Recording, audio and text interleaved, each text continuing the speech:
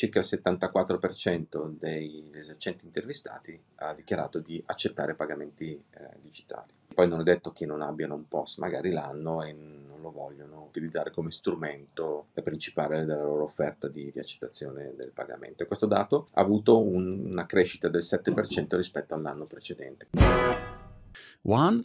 Eccoci. Luca, ce l'abbiamo fatta. Nonostante la mia tecnologia che mi ha un po' lasciato a piedi stamattina, ce l'abbiamo fatta. E allora, Parliamo di pagamenti oggi, parliamo di pagamenti. Anzitutto, um, di, di, cosa ti occupi tu in Visa, eh, che è anche main partner del progetto ilbusiness.com e um, ero curioso di dare anzitutto un outlook all'esterno di, di quella che fosse la tua um, principale competenza. Mi occupo di una cosa per me molto interessante, che è lo sviluppo di tutte le opportunità uh, con quelli che noi chiamiamo merchant eh, a partire dagli esercenti più piccoli fino ai grandi, grandi player conosciuti eh, da tutti i grandi brand. Um, ed è un'esperienza, dicevo, molto interessante, um, anche nuova per Visa, nel senso che non, non, è un settore sviluppato come quello delle relazioni con le banche, eh, che va avanti da sempre. Eh, e quindi c'è molto da imparare, molto da scoprire. Eh, è, una, è un, un'esperienza bella. Merchant, nel, diciamo nel gergo nostro, sono ven- chi vende in sostanza, non il, sì. il, consumatore che compra, ma chi vende, che sia il piccolo negozio o la, la mega multinazionale.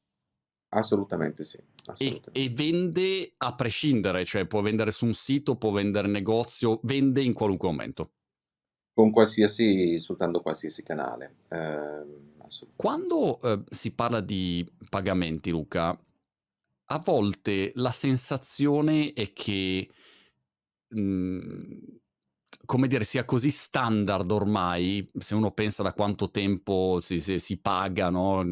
so, con la carta di credito, cose così, ehm, per, per, noi è normale, insomma, non è una cosa che dici, e quindi è una sensazione che eh, da un lato magari un'azienda come la vostra fa carte di credito, dici, ah, sono quelli che fanno le carte di credito, e dall'altro lato la carta è un pe- pezzo di plastica, c'è il cipino dentro, insomma, più o meno mh, c'è, c'è, poca roba tecnologica dentro lì. Aiutami, aiutaci a capire che, che cosa succede dietro le quinte, cioè qual è ehm, la realtà oggi che magari sfugge a molte persone. Eh, hai toccato un punto, due punti interessanti. Mm. Innanzitutto il pagare, eh, che ha una controparte, no? l'essere pagati eh, quindi il ricevere il, il pagamento. E, ehm, e, queste due cose devono andare, eh, devono essere considerate insieme, devono andare insieme, quindi c'è il primo aspetto. Eh, e l'aspetto che le tiene insieme è l'evoluzione di quello che tu chiami le carte di credito, no? un'azienda che fa carte di credito, è proprio la tecnologia.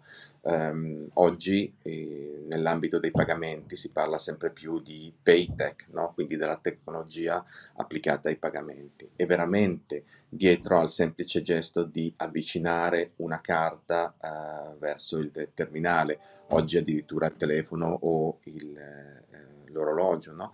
Um, o, altri, o, altri, meccanismi e, e eh, scatenare l'accettazione del pagamento ci sta un mondo tecnologico molto molto complesso eh, che ha negli ultimi anni eh, subito una evoluzione eh, molto veloce come oggi è la tecnologia e eh, molto importante. Spesso gli esercenti per una serie di ragioni non percepiscono la complessità di tutto questo meccanismo del pagare, dell'essere pagati, perché la cosa importante è essere pagati e ricevere il pagamento.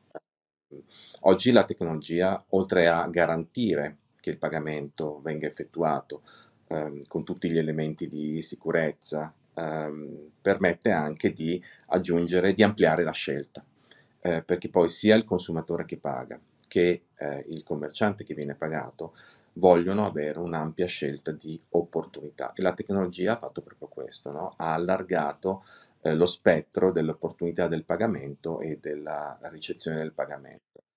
Che cosa vedi Luca di diverso, diciamo, negli ultimi anni? Perché io da utonto, diciamo, da, da consumatore normale, che, che, cosa vedo di diverso? Vedo il contactless, che, che prima non esisteva, anni fa non esisteva, e oggi arrivi e tap, tap, tap, tap o um, Apple, Pay, Apple Pay di turno, cioè vedo queste differenze qua. Tu, diciamo, da uh, insider, da detto ai lavori, quali sono, quali diresti che sono le principali evoluzioni tecnologiche di questi anni? Beh, già il contactless e il pagamento col telefono sono due rivoluzioni epocali, no? Um, in Italia soprattutto fino a poco tempo fa eh, pagare con una carta contactless eh, sembrava una, una, una, cosa veramente del, del futuro e, e, mi ricordo eh, quando il commerciante chiedeva vuole pagare contact. Um, oggi questa cosa non succede più. In effetti nella loro testa tu avvicinando la carta al, al terminale eh, crei un contatto, no? Uh, quindi di con- contactless eh, non è percepito come un'esperienza contactless.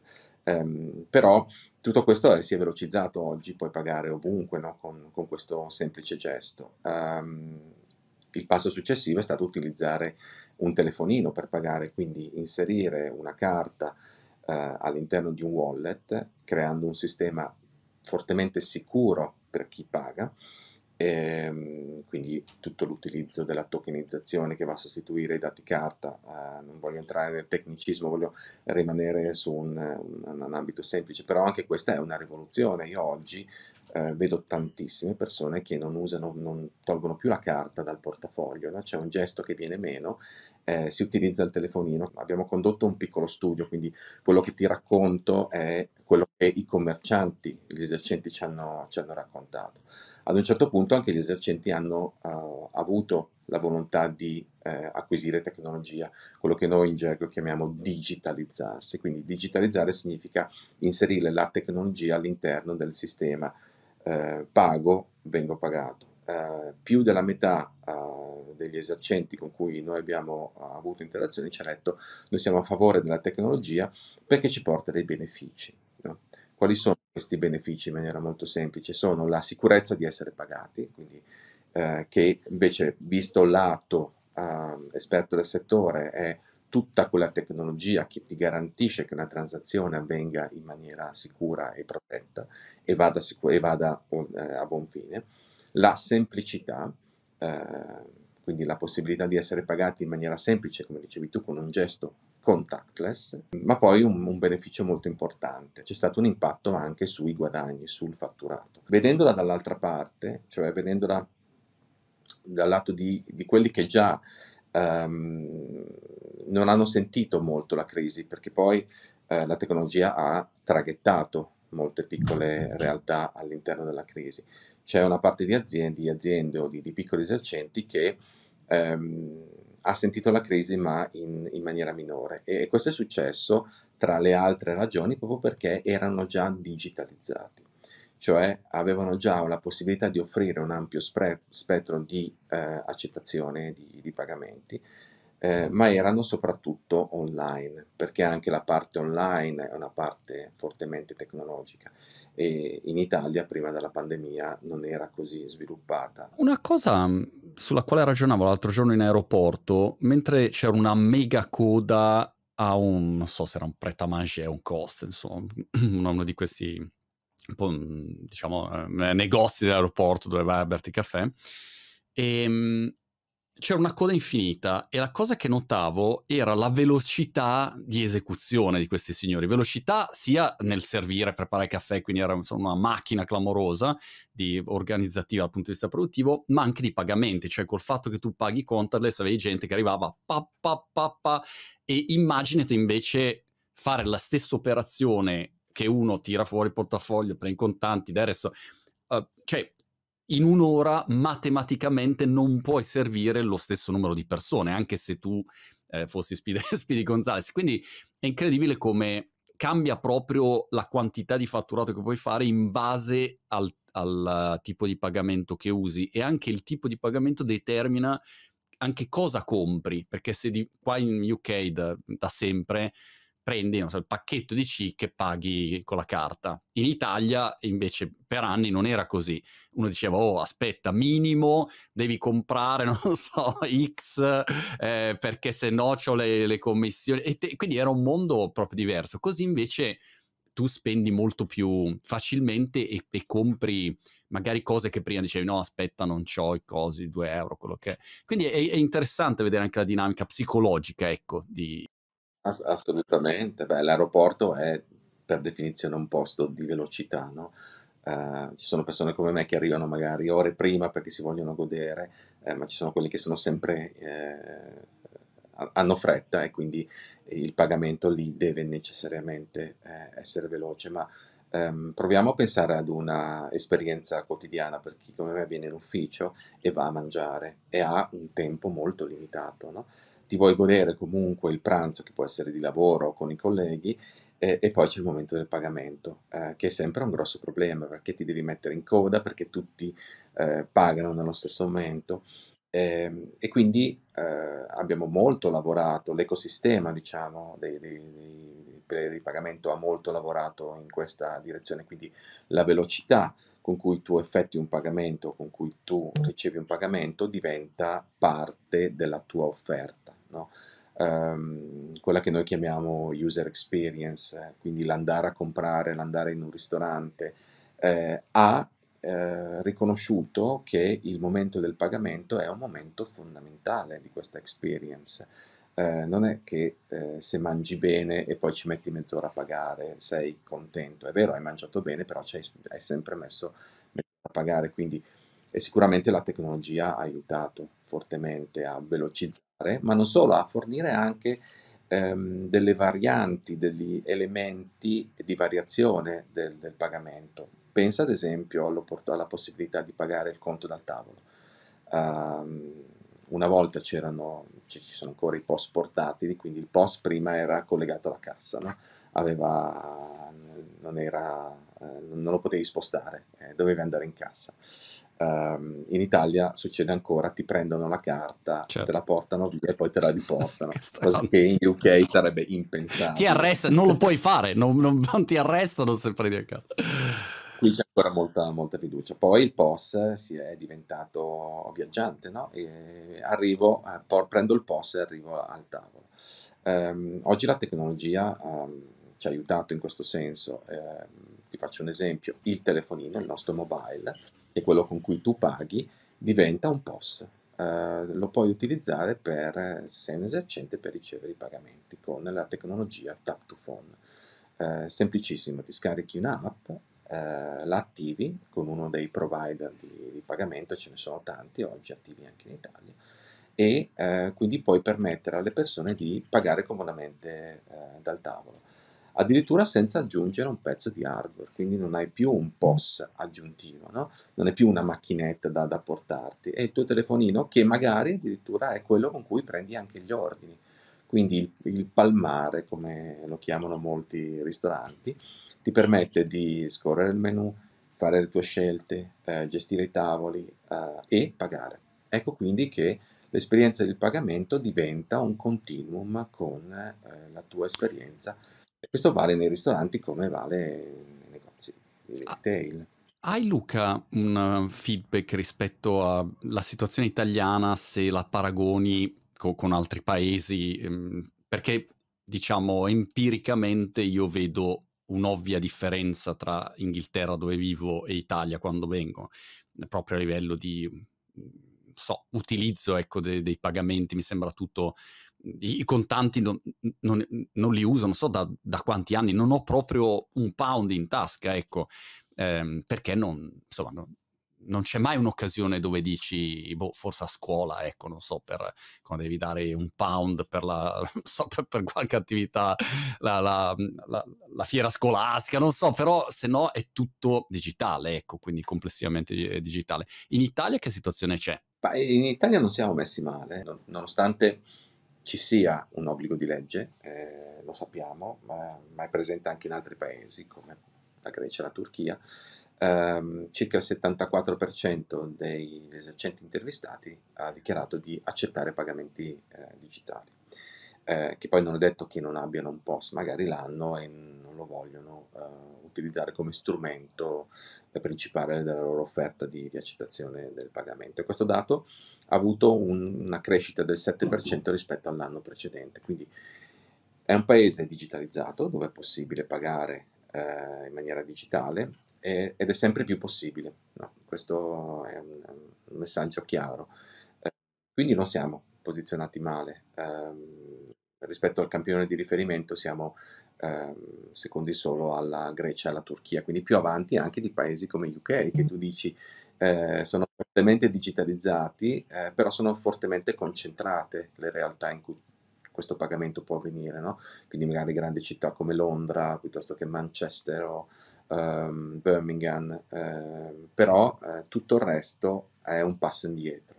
Um, forse in Italia eh, questo accade nelle piccolissime eh, realtà. L'aspettativa è un concetto secondo me interessante perché se guardo la mia aspettativa online, ad esempio, con un'abitudine a un tempo totalmente diverso rispetto al passato. Facciamo l'esempio della comicità.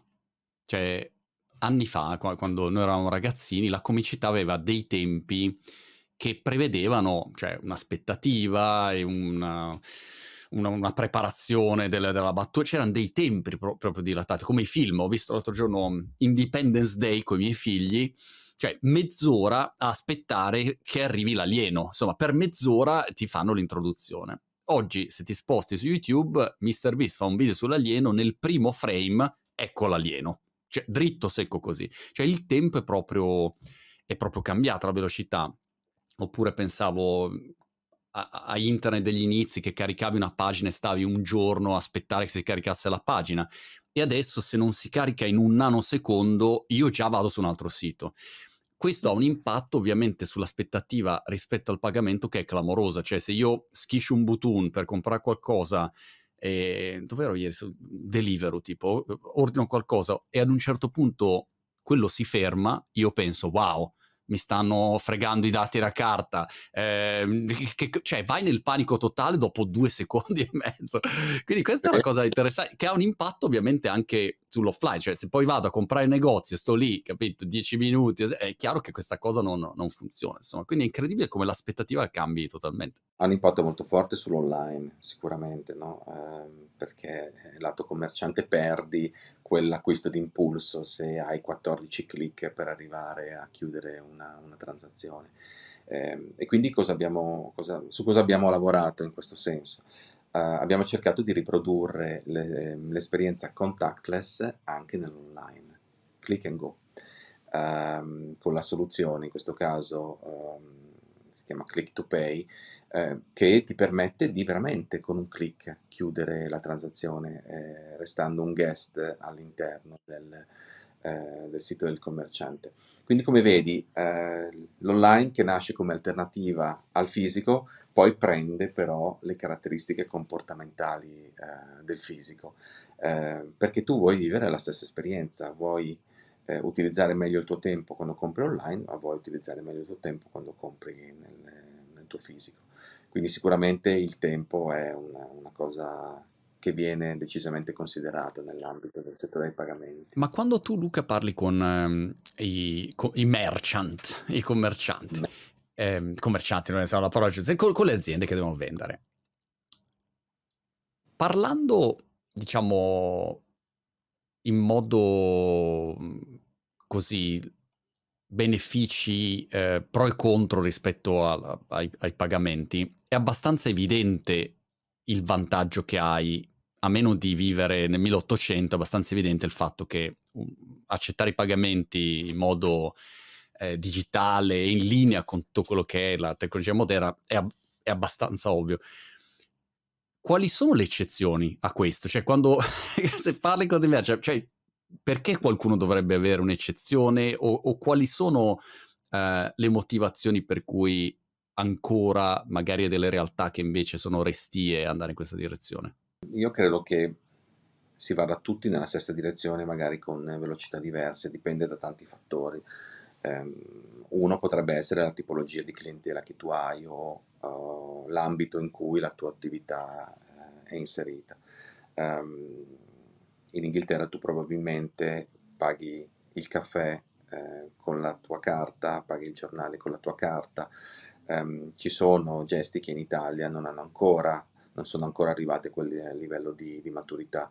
Um, e quindi si utilizzano forme alternative eh, al pagamento digitale, ehm, perché è una parte di una cultura, perché è parte di, di un'abitudine, quindi quella tipologia di acquisto eh, per quella tipologia di clientela ha ancora delle caratteristiche di bassa digi- eh, digitalizzazione. Poi non è nemmeno semplice per gli esercenti comprendere tutte le soluzioni tecnologiche che vengono loro offerte eh, e soprattutto se hai un'attività non hai neanche molto tempo per valutarle. No? Um, e quindi i messaggi che ci arrivano sono proprio questi. Eh, attenzione che io un, come esercente sono interessato all'argomento, però vorrei che tutte le soluzioni che mi servono, eh, non tutte in generale, ma solo quelle che mi servono, mi, mi venissero offerte magari da un solo fornitore, no? uh, one stop shop, uh, perché tu non hai veramente il tempo. Quindi la tecnologia ha creato all'interno di questo mondo dei pagamenti anche una serie di, di player che eh, offrono più di una soluzione, quindi magari mentre prima c'era il player specializzato, eh, ti offrivo solo il terminale, ti offrivo solo il servizio di pagamento, ti offrivo solo il software di quel tipo, oggi ci sono soprattutto in ambito di eh, case che producono software, queste società che ti danno tutto ciò che eh, ti serve, ehm, dal lato a soddisfare la normativa, eh, la fatturazione online, la firma elettronica, tutte quelle cose che vengono richieste, eh, e dall'altro invece tutto quello che ti serve per gestire la tua attività e guarda caso introdurre anche l'elemento del, del, pagamento che non è più a sé stante, ma rientra in una filosofia di, se vuoi, marketplace piuttosto che di offerta da, da un unico uh, fornitore. E quindi tutte queste realtà tecnologiche eh, che prima offrivano solo magari software per la gestione e l'organizzazione dei tavoli, piuttosto che i menu, ehm, piuttosto che altre cose, come dicevamo prima, la fatturazione elettronica e quant'altro, ti offrono anche lo strumento di, di pagamento. Quindi c'è stata una, una grossa sovrapposizione, in, in, cioè la tecnologia ha favorito anche una forte fertilizzazione delle soluzioni e di ehm, sovrapposizione, eh, quindi meno specializzazione e più fornitura di quello che sono tutte le soluzioni per soddisfare la necessità degli esercenti. Ti faccio tre scenari, Luca, e vediamo se riusciamo a dare qualche suggerimento, consiglio, insomma, alle persone in ascolto, esercenti magari che, che sono in ascolto. Um, ipotizziamo livello base, intermedio e avanzato, ok? livello base eh, dell'esercente. Che suggerimento o che suggerimenti, quali best practice possono pensare per chi magari è all'inizio di questo percorso e dice ok, qua devo digitalizzarmi un attimino, sono ancora un po' indietro, magari la mia clientela è ancora abituata a pagare, insomma, in, in, con i contanti, quello che è, eh, però vedo che c'è un cambio di direzione, quindi mi devo, come dire, svecchiare da questo punto di vista. In questo caso, da, da dove parte questo soggetto? Beh, di solito in questo scenario parliamo di esercenti che hanno bisogno di molta, di semplicità, di, di soluzioni semplici, che permettano di soddisfare le loro esigenze, che in questo momento non sono così sofisticate, quindi fondamentalmente offrire un'esperienza di, di pagamento ehm, che aggiunga delle opzioni di scelta e che avvenga in maniera molto semplice ehm, senza grandi complicazioni tecnologiche. Eh, quindi soluzioni per esempio che non comprendano eh, l'hardware ma come dicevamo prima utilizzino elementi esistenti come il telefonino per accettare i pagamenti sono ehm, quelle che questa tipologia, questa fascia ehm, richiede, oppure soluzioni comunque diciamo, semplici, eh, funzioni base, ehm, ma che siano efficaci e che mi permettano di risparmiare tempo e di non aggiungere un, un problema okay. laddove ho un tassello in più. Perfetto, e quindi entro, inizio a prendere i miei pagamenti. Quando poi, diciamo, mi sono rodato su quello e sono a un livello invece, chiamiamolo più intermedio, qu- qual è il passaggio successivo? È la sofisticazione dello strumento di, di accettazione, quindi un, un tecno- una crescita dell'elemento tecnologico e il fatto che il pagamento diventa parte di una serie di altre soluzioni. No? Um, pensa per esempio mm. al ristorante um, che eh, deve avere la cassa e deve avere il POS, quindi eh, aggiunge il POS, ma um, poi ha bisogno anche di gestire i tavoli, di, di gestire i fornitori. Quindi cosa fa? Concentra tutto, fa un passo in avanti in ambito tecnologico e utilizza quelle soluzioni cassa um, che oggi eh, diventano dei marketplace, quindi la cassa è come se fosse un telefonino con tante app e tu dalla cassa um, comandi tutto e avvicinando la carta o il telefonino alla cassa tu puoi pagare, quindi la cassa diventa uh, un POS. Um, quindi in questa fascia c'è un aumento della conoscenza tecnologica, un aumento della complessità perché fai delle scelte che ti portano uh, più avanti, ma ancora sei eh, in un unico punto di, di contatto perché vuoi avere ancora tutto sotto controllo.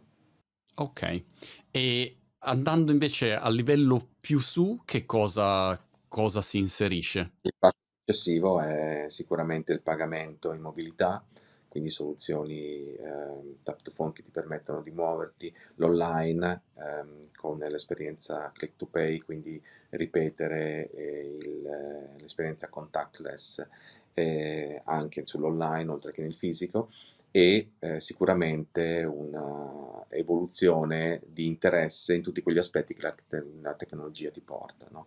quindi risparmio del tempo, eh, efficienza.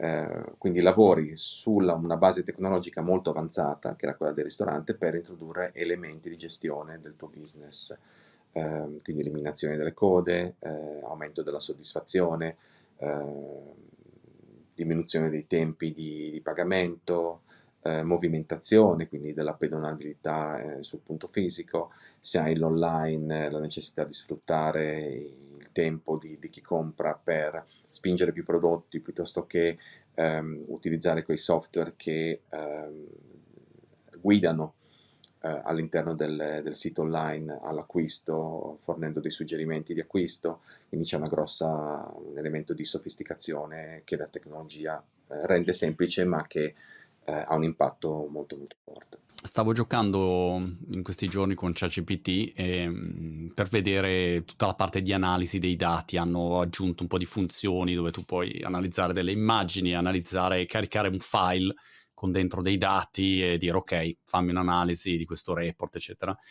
E è incredibile come una volta che hai i dati, se a quel punto li aggiungi, penso, no? ho i pagamenti, ho tutto digitalizzato, le mie transazioni, a quel punto posso iniziare a, a far correre delle analisi o dei report per dire, non so, ok, qual è il piatto più venduto in assoluto nel mio ristorante col margine migliore. No, non so, posso cominciare a fare tutta una serie di analisi che mi aiutano, mentre invece eh, negli, negli, altri scenari questa, questa, attività non la potrei fare, ecco, quindi anche quella è interessante. Senza... No, sicuramente la, la, parte di, di efficientamento della, della, tua attività, di, di, approfondimento, ma poi sai, più vai avanti più scopri delle nuove frontiere, no? sarà capitato anche a te di eh, avere questa sensazione ah, del dire ah, ma non ci avevo pensato, da quel punto però cominci a pensarci e quindi fai eh, un passo successivo ed ecco perché anche la tecnologia è molto veloce perché facciamo tutti dei passi in avanti continui.